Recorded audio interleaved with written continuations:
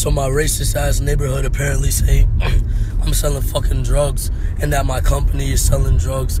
like, what the fuck? So you can't be a nigga and live in a nice neighborhood or you're selling drugs and your company is selling drugs and apparently apparently I can't go outside.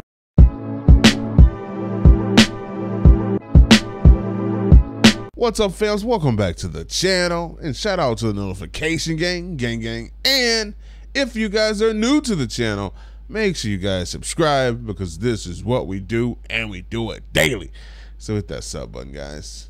So your boy X, he's a little scared of the police right now, and I don't blame the guy, man. There's been some spooky stuff that's going on. We all know there's good cops and bad cops, but I've been seeing some spooky situations out there, man. I've seen mothers call the cops to their house because they hear some some bumping in the night going on outside the house and the police shows up and mows down the caller and i just shake my head at those situations although they happen very rarely it's like god dang i wish they wouldn't happen right so we all know that X said he was going to take a break and he wasn't going to be so visible. And I'm not going to lie, man. He's he's done a good job of that.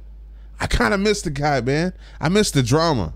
So he posted something on his Snapchat, I would say about maybe a few days ago, and I'm now just getting time to cover this.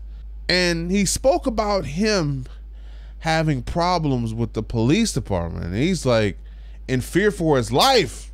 And this is what he said The Coconut Creek Police Department have been harassing me at my home. I'm letting the public know just in case anything happens to me.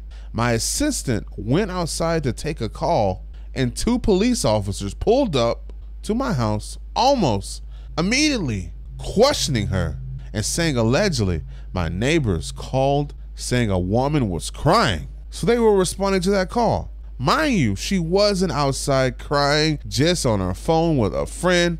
As soon as I came out and asked if there was a problem, they left.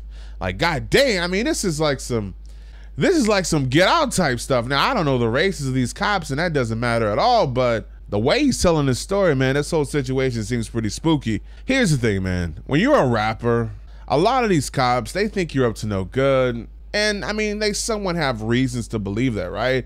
In your music, you're talking about killing somebody, you're talking about doing drugs, you're talking about packing guns. I mean, you're pretty much snitching on yourself. So a lot of these police, they watch these rappers very closely. And that could be what's going on right now they probably think some some dirty stuff is going on at the house, but but X is one of those people. He is very paranoid of the government. He is very paranoid of the police department, and I hope he doesn't do anything crazy and get himself shot, man. It's just simple as that. Stay away from the police. Anyway, you guys let me know what you think about this in the comment section below. And we haven't seen X too much lately, man.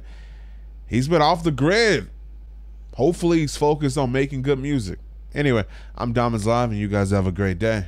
I'm out.